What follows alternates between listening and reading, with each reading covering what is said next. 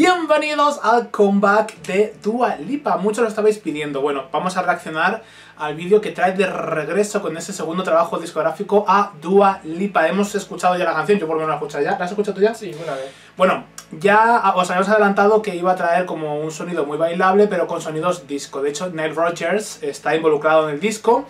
Y bueno, pues hay algunos productores más, como Mark Ronson o Diplo, que están involucrados en ese segundo trabajo discográfico de Dua Lipa. Esta canción, bueno, me la esperaba, la verdad que me ha gustado bastante, y si bien es cierto que estaba esperando que llegase este sonido más disco, porque era como que me hacía falta ya, o sea, lo trajo Mark Ronson, yo creo, ¿no? Pero como que necesitaba una diva así, en plan, dije, se venga, vamos a ponernos con la música disco, y yo creo que lo ha hecho muy bien, con un mensaje feminista, eh, bueno, pues si me has perdido, hijo mío, ahora no hagas como que te preocupas por mí, que esa manera de preocuparte es un poco machista, así que, no sé, me ha gustado bastante, ya había adelantado que era un disco con mucha carga social, política, sobre todo feminista, y esta carta de presentación, pues oye, me ha gustado, me parece una canción muy necesaria y que esperemos que sea un buen éxito y que deja tu camilita shaking. No lo creo, pero bueno, la verdad que había mucha expectativa para este nuevo regreso de Dualipa, lleva mucho tiempo trabajando, se ha cambiado de look y bueno, sigue en tintes bailables, pero me ha gustado que haya cambiado pues a otro lugar que es la música disco, ¿no? Hay como una evolución. Lo único que yo veo, a ver, con la imagen que tiene Dualipa, a, a mí la canción como que no me le pega a ella, pero ahora con el vídeo voy a ver ah, si esto eh, casa bien, a ver si casa bien. su esencia, su estela de, de, mensajes y eso lo sigue manteniendo porque, pues bueno, sigue siendo una canción feminista, social, como lo fueron muchas, la mayoría de su anterior trabajo discográfico, con lo cual sigue la estela de lo que ha sido. ¿Tú crees que esta señora va a seguir manteniendo el éxito? A ver, yo creo que Dua Lipa es una mujer ambiciosa, que yo creo que tiene muy claro lo que quiere hacer y sobre todo tiene muy claro lo que quiere el público de ella, o sea, lo que espera sus seguidores de ella. Eh, ha colaborado con muchos artistas y con muchos productores que yo creo que le van a dar ese empujón. Y bueno, ahora vamos a reaccionar al videoclip. Play, play. Oh. Wow. Hombre, a mí el, look este como que ahora me, me, choca, ¿no? Porque es un rubio un poco feo el rubio que lleva, ¿eh? Sí, y no le sienta muy bien. A ver, yo creo que estamos muy acostumbrados a ver la morena y es guapísima. Bueno, a ver... Pero este rubio no me gusta. Como una historia de, de fiesta, de pues oscuridad. Lo que, lo que narra un poco el, el videoclip, ¿no? La, la, canción. Pero ya te acostumbras, o sea, yo ya me acostumbro a verla así. Es como raro, pero ya me he acostumbrado. No sé, a mí me da siempre rabia cuando las artistas que son morenas y triunfan siendo morenas se vuelven al rubio. Porque como todas las artistas son rubias, uff. Ya, pero esto es mitad y mitad. Camila sigue morena.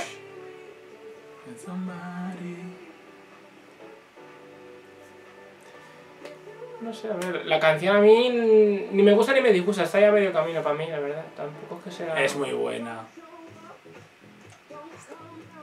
No suena muy anuncio de televisión. Es muy comercial. Mírala, es que es una tía, es una tía espectacular, la Dualipa. Es espectacular. A mí me encanta, yo no entiendo por qué nos gusta, de verdad. Pero si a la gente le gusta. No, me refiero, como tú, petardos, que dicen que es una salsa, que no sé qué. Pero mírala, qué sexy, qué miradas tiene, coño. Es un poco petardo. Tiene como mucho mundo interior.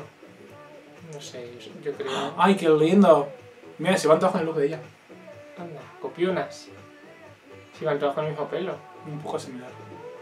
Porque las amigas... Con la media melenita. Las buenas chicas se prestan la ropa. Qué guapa. El vídeo no, es como muy, muy de ahora, como muy de para invierno. Es como de ahora. Hombre, no sé, yo no saldría ya a la calle como ella, que es frío, ¿no? Hombre, en, el, en el, en el club hace En el club. En el club.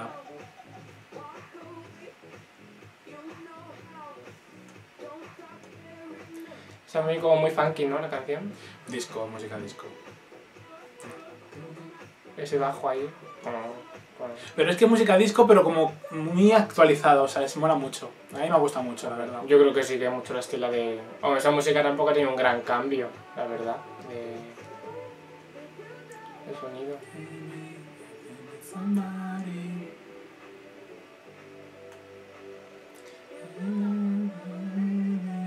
Pues era un, un acorde, un chuminero de repente.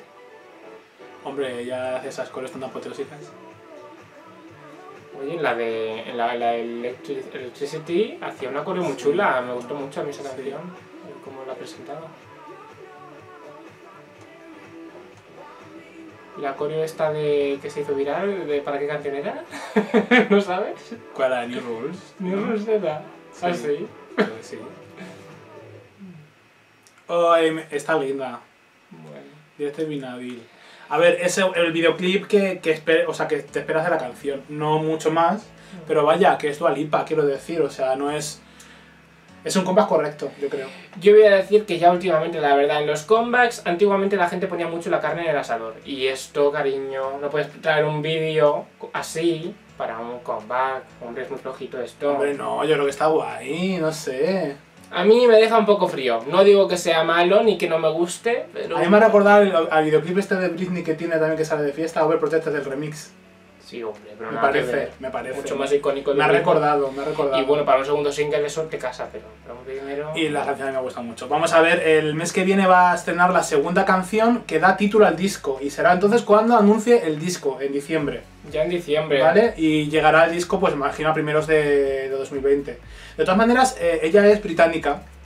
En Inglaterra, sabéis que, bueno, no se puede publicar el disco, o sea, no se puede publicar un primer single si es más de un mes anterior. Tres semanas, creo, un mes, sí, Tres semanas, un mes anterior. Con lo cual, si ha publicado este single, el disco tiene que estar en enero llega.